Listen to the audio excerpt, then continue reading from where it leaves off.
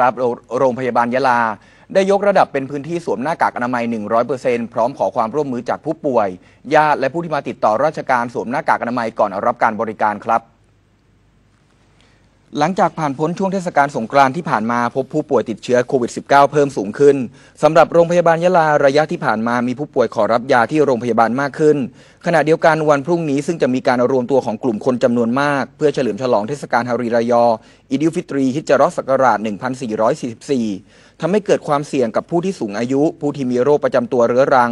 หากเข้าไปในสถานที่ชุมชนแออัดควรสวมหน้ากากอนามัย ล้างมือบ่อยๆ ใช้เจลแอลกอฮอล์ ถ้ามีอาการทางเดินหายใจ ไข้ ไอ เจ็บคอ